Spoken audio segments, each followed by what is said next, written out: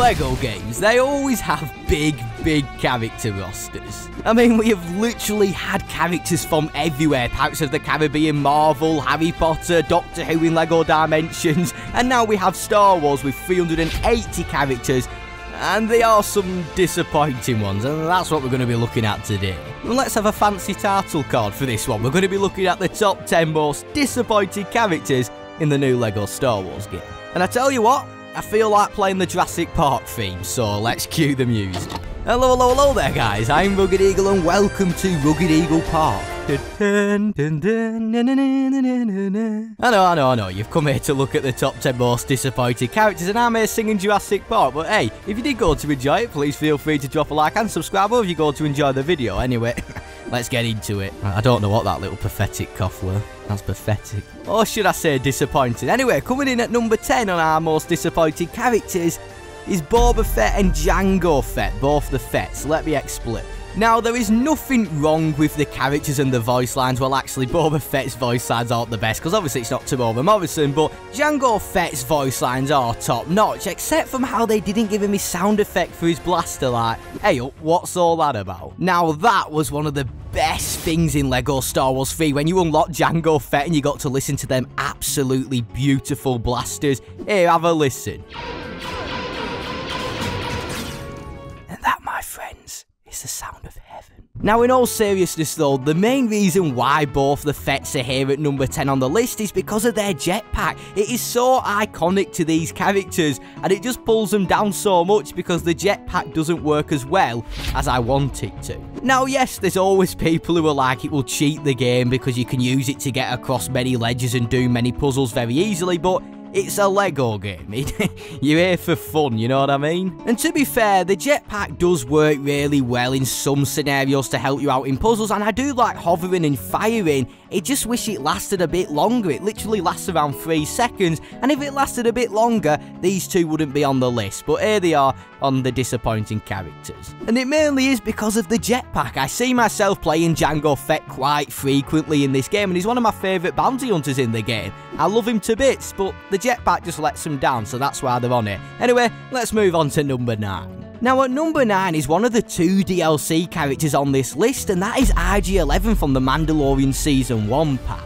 Now the main reason for this is because IG-11 and IG-88 are literally the same. IG-11 is just a reskin. Now to say this DLC pack does cost you some real life shekels, you do get your money's worth with Mandalorian and Grogu this is the way. But what isn't the way is how IG-11 is simply just a reskin, and he doesn't really use a long rifle in the show all too much, he normally dual wields in the show, and I'm surprised they didn't give him dual wielding capabilities, so he does stand out compared to IG-88 and that's why it's a little bit disappointing. So, swooping its way into number 8 is a really strange name, and that is Figrin Dan. Hey, hey, hey, you can't take the mick out of Figrin Dan because he made the amazing song. Oh, we all love Dan. We love you, Dan. I mean, mate, you haven't aged a single day from all the way back in the Complete Saga days doing the Cantina song, and now you're still at it, buddy.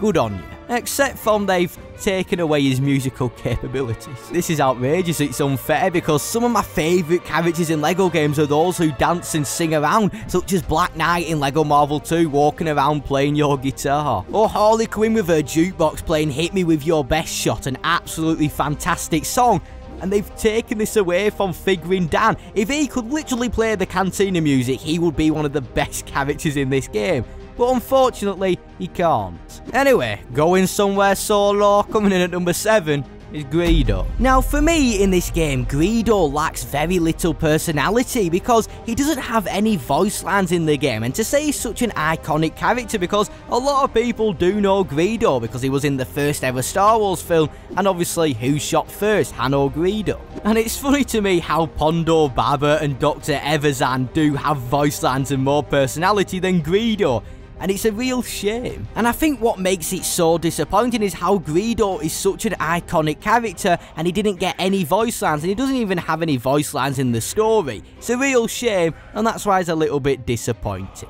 Now, singing her way into number 6, well, actually not singing because this character has no capabilities of singing, yet she sings all the time, and that is Sy Snootles. And actually, let me just begin with the quest to unlock Sy Snootles is an absolute pain. Oh. When you're walking around Coruscant having to mind trick everyone to get them into the circle to dance for Sy Snootles, having to listen to her voice, then you have to do it three times. Oh. And then you unlock her and she's an absolute disappointment. Now, fair enough, they did give the character voice lines, but Sy Snootles cannot sing in this game, and that is her entire thing, to sing. Now, you may enjoy Sy Snootles singing, or you might not enjoy it, but it would be amazing to have the option to allow her to sing as a character, because that is literally her entire thing, and she falls under the same problem as Figrin Dan. There is no musical characters in this game, and it doesn't really do her any justice when she's got one of the most annoyingest quests in the game, and you unlock her, and it's like... It's a bit disappointing, isn't it? Anyway, moving on to number 5, is Grand Moff Tarkin, and he does not appear in the story at all which is, you know, a bit of a problem. Now, to say they just took away Grand Moff Tarkin out of the story, I really did enjoy episode 4 in this game, and I thought that one of the best episodes in the game, alongside the entirety of the original trilogy. The original trilogy is top stuff. Now, to say Grand Moff Tarkin isn't in the story, they went to add him in as a character, and you would expect something from him, but he's very, very bland. Now, now, now, now, I am aware that Grand Moff Tarkin is an old man who literally fires a laser out of a Death Star. I am aware of that. So obviously I'm not expecting him to transform into Red Hulk or anything like that. Mind you, that would be a cool ability if he like fires a little mini laser out of a Death Star with a remote. That would be a cool ability. But Grand Moff Tarkin has nothing like that, and he is very similar to a lot of the other officers. To say he's the Grand Moff Tarkin, you would expect him to have something unique about it, or voice lines, for example. Now, Tarkin doesn't even have any idle animations, and I am aware there's 380 characters in this game, so they've done an amazing job with most of the characters, but for the main pivotal characters such as Greedo and Tarkin, I expected them to have a little bit more to help them shine above the others, but Hey. Now, I just had to throw this one on this list because I'm really disappointed how he didn't appear in the story, and he's a bit of a disappointing character too, so I think he deserves a spot on this list. Anyway, brushing its way into number 4, that is a bit of a strange metaphor for that one, is the worst DLC character in this game. and It's kinda scandalous how he's even a character. And that's Echo. And that really did hurt my soul to say this one, but Echo in this game is very poorly done. Now, Echo is a part of the Bad Batch DLC pack and he's literally just shadowed over by Hunter because Hunter is the exact same, but even better because he has his unique electric knife. And it just makes it like, what is the point of being Echo when you have Hunter who's the same character with just extra stuff added on top? There is no real use to being Echo. I'm sorry to say that, Echo. Now, in my opinion, they could have simply have placed Echo within the extra class and maybe give him abilities to access droid panels and astromech panels and make him more adapted to how he is in the show. Now, some of you may be sat there thinking, well, what about Wrecker? Wrecker is the exact same. Well, not exactly because Wrecker's fire rate is sped up with his blaster, so he does fire a lot quicker, which does make him a bit funner than Echo. Now, to say the Bad Batch DLC pack only has 5 characters, you really only have 4 characters, because what is the point in Echo when you have Hunter?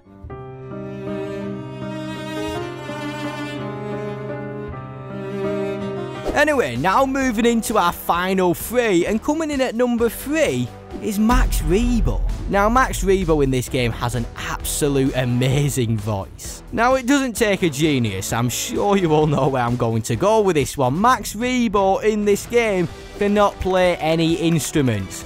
It's Max Rebo. I mean, come on, I want to be like Elton John in Star Wars and just start blasting tunes away. And that's why Max Rebo's this high up on the list, because I absolutely love Max Rebo. Who doesn't? And that's why he disappointed me when he couldn't play any music, and that's why he's at number 3. Right then, waddling its way into number 2 is one of the most strangest characters in a LEGO game, and I really expected them to do something amazing with this character, and that is Gonka And I remember how this character was announced before the game came out, and we haven't seen the character, so we were all thinking, is it like a Palpatine Gonk droid? And then we finally get the character, it's just a red gonk droid. And it's such a funny concept and a very unique one, and they could have gave him like a red lightsaber or made him like a Sith gonk droid or Palpatine in a gonk droid. And it's just a red gonk droid. It was Very disappointing. And it's such a shame because this could have been one of the greatest characters in a LEGO game, a Gonk droid with a lightsaber that can dash and shoot lightning like Palpatine. Imagine that. But anyway, it is time to move on to the number one spot for the most disappointing character in this game, and he's actually the hardest character to unlock in some sort of a way and that is the Wandering Wookiee. Now, we all remember Stan Lee in the LEGO Marvel games having to get all the Stan Lee in perils or Deadpool, and the Wandering Wookiee is pretty much in essence this for the Skywalker saga, and he's literally just a reskin of Chewbacca. And that is pretty much all I have to say about the Wandering Wookiee. To say he's meant to be the Stan Lee of this game in some sort of way, it's, well, I'm gonna say it again, disappointing. But anyway, thank you for watching today's video. If you did go to enjoy, please feel free to subscribe and go to drop a like. And if you want to check out any other LEGO game videos or LEGO Star Wars The Skywalker Saga videos from me, there will be a playlist at the end. Anyway, hope you'll have a fan dabby dozy week and I'll see you all in a bit. Adios.